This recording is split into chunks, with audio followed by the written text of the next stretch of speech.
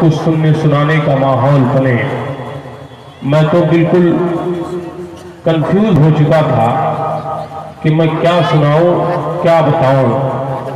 مگر حضرت قاری شفاعت نوری صاحب کے ایک شعر نے مجھے موضوع دے دیا اور میں نے اپنا عنوان اسی کو بنا لیا۔ حضرات، تھوڑی دیر کے لیے آپ حضرات اپنے ذہن و فکر کو حاضر کریں اور جو پیغام میں دینے کی کوشش کروں گا، اسے آپ غور سے سن کر عمل بھی کریں مجھ سے قبل دو تین تقریریں ہو چکی۔ خلیفہ تاج الشریعہ امدت الخطبہ، حضرت علامہ مفتی مجیب الرحمان صاحب قبلہ دامہ ذلہ النورانی کا۔ ایک ایمان افروز مسل کے اعلیٰ حضرت، اجاگر کرنے والی تقریر آپ حضرات نے سماعت فرما لی ہے۔ مسل کے اعلیٰ حضرت کو اگر چند شعر میں سمجھنا ہے تو اعلیٰ حضرت کے شعر کو پڑھ لیا کرو کہ دشمن احمد پہ شدت کیجیے، ملحدوں سے کیا مروت کیجیے، غیظ میں جل جائیں بے دینوں کے دل یا رسول اللہ کی کثرت کیجیے اور کیجیے چرچا انہی کا صبح و شام جانے کافر پر قیامت کیجیے۔ غوث اعظم آپ سے فریاد ہے، زندہ پھر سے پاک ملت کیجیے۔ اور شرک ٹھہرے، جس میں تعظیم نبی، اس برے مذہب پہ لانت کیجیے۔ یہی مسئلہ کے اعلیٰ حضرت ہے۔ میں نے جس موضوع کو اپنا عنوان سخن بنایا ہے۔ آج دنیا پر نگاہ ڈالی جائے، معاشرے کو دیکھا جائے تو جہاں ساری برائیاں پائی جاتی ہیں کہ آج مسلمانوں کے معاشروں میں شراب کے نشے میں دھت مسلمان کا نوجوان ملتا ہے۔ جو آبازی تاش بازی مسلمانوں کے گھروں اور قبیلوں میں پایا جاتا ہے۔ جھوٹ، چوری، مکاری پیمانی کون سی ایسی برائی ہے جو آج ہمارے اور آپ کے معاشرے میں نہیں آ چکی ہے۔ انہی ساری برائیوں میں ایک ایسی برائی ہمارے اور آپ کے مابین اور معاشرے میں ہے جسے دنیا بڑی ہی ہلکی نظروں سے دیکھتی ہے۔ اور وہ برائی اتنی عظیم برائی ہے اس سے دنیا کہ انسان کی دنیا آخرت دونوں تباہ ہو سکتی ہے۔ اس برائی کو آپ سمجھئے کہ آج دنیا ان تمام برائیوں کے ساتھ جو برائی وہ مبتلا ہے، جس سے انسان کی دنیا بھی سمرتی ہے اور آخرت بھی سمرتی ہے۔ ان میں برائی یہ ہے کہ یہ دنیا کے لوگ مغربی تہذیب میں آ کر اپنے والدین کے ساتھ بڑی نا انصافی کرتے ہیں۔ ان کے ساتھ نہ جانے کیسے کیسے سلوک کرتے ہیں، یہی بیٹا جب جوان ہو جاتا ہے، تو اپنے ماں باپ کو اپنے سر کا بوجھ محسوس کرتا ہے اور یہ سوچتا ہے کہ کاش یہ جلدی انتقال کر جاتے، جلدی دنیا سے چلے جاتے، تو ہمیں بڑی فرصت مل جاتی۔ اگر ایسا نہیں ہے، تو اگر اس باپ کے چار بیٹے ہیں، تو چاروں ان باپ اور ماں کو باریوں میں تقسیم کر لیتے ہیں۔ اور باریوں میں تقسیم کرنے کے بعد ہفتہ وار، مہینہ وار ان کو کھانا کھلانے، علاج کرانے کا معاملہ طے کر لیتے ہیں۔ حالات اس قدر ہو جاتے ہیں کہ اگر بڑے بھائی کے ہاں پاری ہے اور چھوٹے بھائی کے ہاں ناشتہ تیار ہے اور وہ اپنے بچوں کے ساتھ ناشتے پر بیٹھا ہوا ہے اور ماں باپ بیٹھے ہوئے ہیں، مگر ان کو اتنی ہمت و جرات نہیں ہے کہ ماں باپ کو بلا کر بھی ساتھ میں ناشتہ کر لے۔ علامہ شفاق نوری صاحب، مفتی صاحب قبلہ نے پابند تھا بھا۔ کیا کر رہے ہو؟ یہ تمہارے ماں باپ ہیں، بیٹھے ہوئے ہیں۔ اپنے بچوں کے ساتھ تم ناشتہ کر رہے ہو۔ ذرا ان کو بھی بلا لو، ناشتہ کروا لو۔ وہ جواب یوں دیتا ہے مولانا صاحب، آج ہمارے ہاں ان کی باری نہیں ہے، آج ان کی باری ان کے ہاں ہے، اس لیے ہم ناشتہ کیسے کروا دے ذرا سا اپنے ذہن کو حاضر کرو، یہ اتنی بڑی برائی معاشرے میں گھس چکی ہے، جسے تم یہ سمجھتے ہو کہ ہم جنت حاصل کر لیں گے۔ ایک شعر کے ذریعہ حضرت شفاق نور نے بتا دیا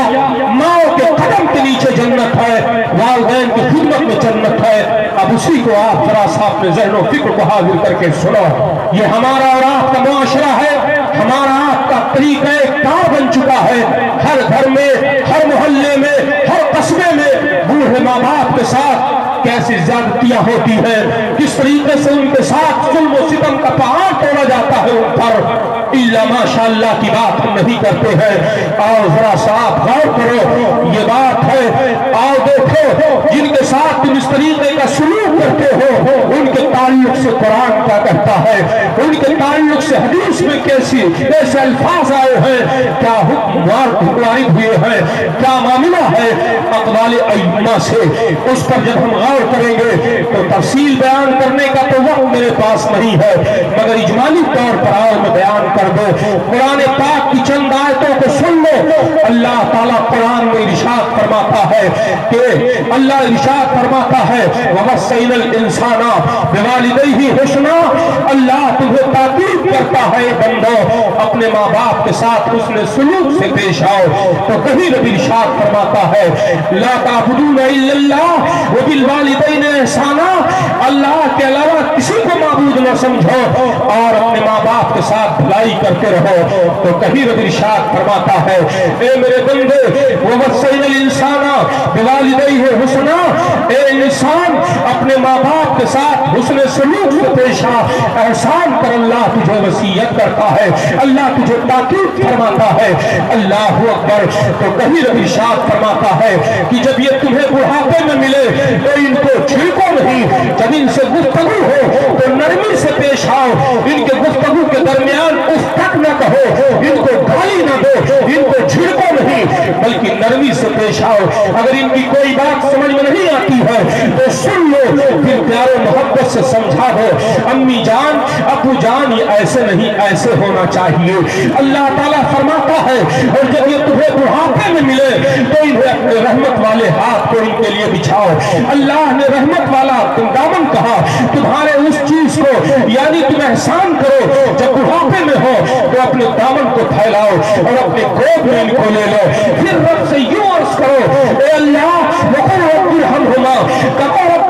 Shakira. ماں پر یوں ہی تو رحم فرما، جیسے انہوں نے ہمیں بچپن میں پالا ہے، جیسے انہوں نے ہمیں بچپن میں ہماری پرورش کی ہے۔ اب ذرا سا ذہن حاضر کرو، اللہ تعالیٰ نے عمر کا اور حصہ کی یاد نہیں دلایا۔ جوانی یاد دلا دیتا بڑھاپا یاد دلا دیتا، بچپن ہی یاد کیوں دلایا؟ تو آؤ، ائمہ کرام کے بہت سے اقدار ہیں، مگر ان مثال کے طور پر چند باتیں بتا دو۔ کہ جب یہ وہ بڑھاپا کا تو آج تمہارے بچپن کی بات آئی، تو ماں باپ بچپن میں کتنا احسان اپنی اولاد پر کرتے ہیں، اپنے بچوں پر کرتے ہیں۔ جب اس پر غور و فکر کیا جائے تو یہی ماں باپ ہے اپنے اس بچے کے ساتھ کس طرح حسن سلوک سے پیش آتے ہیں؟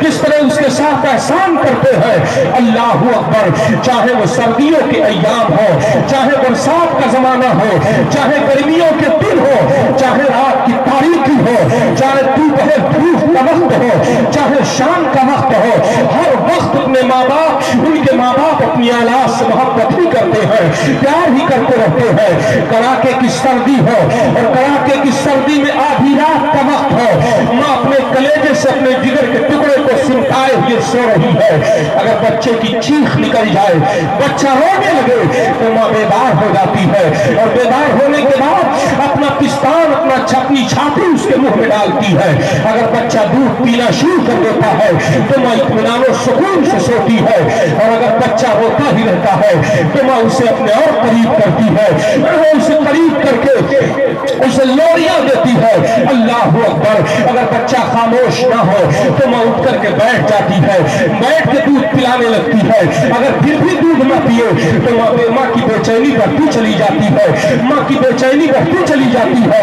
اب یہ چراغ روشن کرے گی، اجالا کرے گی۔ اور اجالا کرنے کی بات یہ بے چین ماں کبھی بستر کو الٹ کے دیکھتی ہے، کبھی لحاظ کو الٹ کے دیکھتی ہے، کبھی تکیے کو ہٹاتی ہے، کبھی بچے کے پشپ کو دیکھتی ہے، کبھی اس کے پشکم کو دیکھتی ہے، کبھی پیشانی کو دیکھتی ہے۔ کہیں کسی موزی جانور نے اپنے بچے کو تکلیف تو نہیں دیتی ہے۔ اب اسے سردی کا خیال نہیں ہے، اب اسے نیند کا خیال نہیں ہے۔ اگر فکر ہے تو اپنی اولاد کی ہے، اگر فکر ہے تو اپنے لخت جگر کی ہے اگر فکر ہے تو نور نظر کی ہے ماں اپنے اس بچے کو روتے ہوئے دیکھ کر بے قرار ہوتی جا رہی ہے اسے لوریاں دیتی ہے اسے کے پیشانی کو کبھی بوسا ہے، کبھی رخسار چوم لیتی ہے، کبھی کاندھے پہ لے لیتی ہے، کبھی گود میں سمٹاتی ہے، کبھی اسے لوریاں دیتی ہے۔ اور نہ جانے کیسے کیسے القابات سے نماز ڈالتی ہے۔ کبھی دادا کرتی ہے، کبھی بابا کرتی ہے، کبھی نور نظر کرتی ہے، کبھی لخت جگر کرتی ہے، کبھی آنکھوں کا تارا کرتی ہے، کبھی راج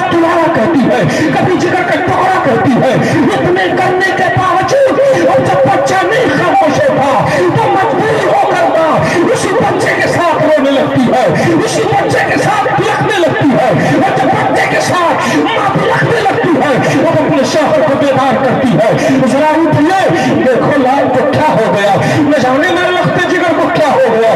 ذرا اٹھا تو دیکھو، باپ بیدار ہوا۔ تو نیند خراب ہونے کی بنیاد پہ مارا نہیں۔ ڈاکٹر نہیں اسے پھٹکار نہیں لگائی، اپنے گود میں لے لیا۔ دروازے سے باہر آیا۔ آسمان کی طرف بچے کو دکھاتا ہے۔ میرے لال دیکھو، چاند نکلا ہوا ہے۔ میرے بچے دیکھو، ستارہ نکلے ستارے نکلے ہوئے ہیں۔ فضاؤں ہواؤں کی طرف اشارہ کرتا ہے۔ نہ جانے کیسے ہیلے کرتا ہے۔ اسے بھی لے دیا دیتا ہے۔ اگر بچہ خاموش نہ ہو، تو سردیوں کو نظر انداز کیا۔ ماں باپ نے اور اس کے بعد صبح کا انتظار کیے بغیر جا کر کے امام صاحب کا دروازہ کھٹکھٹایا۔ علامہ شاہ نماز کو جگایا. حضرت دروازہ کھولو. کیا ہوا؟ نہ جانے لال کتا ہو گیا ہے یہ رونا بند بھی نہیں کر رہا ہے. ہمارا جگر کا ٹکڑا ہے، کلیجہ پھٹ ہے۔ ذرا سا قرآن کی آیت پڑھو۔ اس پر دم کر دو۔ اللہ اللہ، انہوں نے قرآن کی آیت پڑھی اور پڑھنے کے بعد دم کر دیا۔ اگر بچہ خاموش تو خوشی خوشی لوٹے۔ اور اگر بچہ خاموش نہ ہو تو ماں باپ سویرے کا انتظار کیے بغیر ڈاکٹر کے دروازے پر پہنچ گئے اور پہنچنے کے بعد کہتے ہیں، اے ڈاکٹر صاحب، ذرا سا میرے بچے کو دیکھو۔ اسے نہ جانے کیا ہو گیا ہے۔ اچانک رونے لگا ہے، ذرا دیکھو اس کو کیا تکلیف ہے۔ اس کی مسکراہٹ واپس لوٹا دو۔ رات جب ڈاکٹر دیکھنے لگا تو باپ سہمے قدموں سے آگے بڑھا اور فکر مندی میں آگے بڑھ کر ڈاکٹر کے کانوں میں شرگوشی کرتا ہے اور کہتا ہے، اے ڈاکٹر، میرے لال کی ایک مسکراہٹ واپس لا دو۔ زندگی کی ساری پونجی تمہارے قدموں میں ڈال دوں گا۔ میں اپنے کھیت کھلیہان بیچ ڈالوں گا۔ میرے بچے کی مسکراہٹ واپس لوٹ آئے میں آپ سے سوال کرتا ہوں، رہا تم مسلمانوں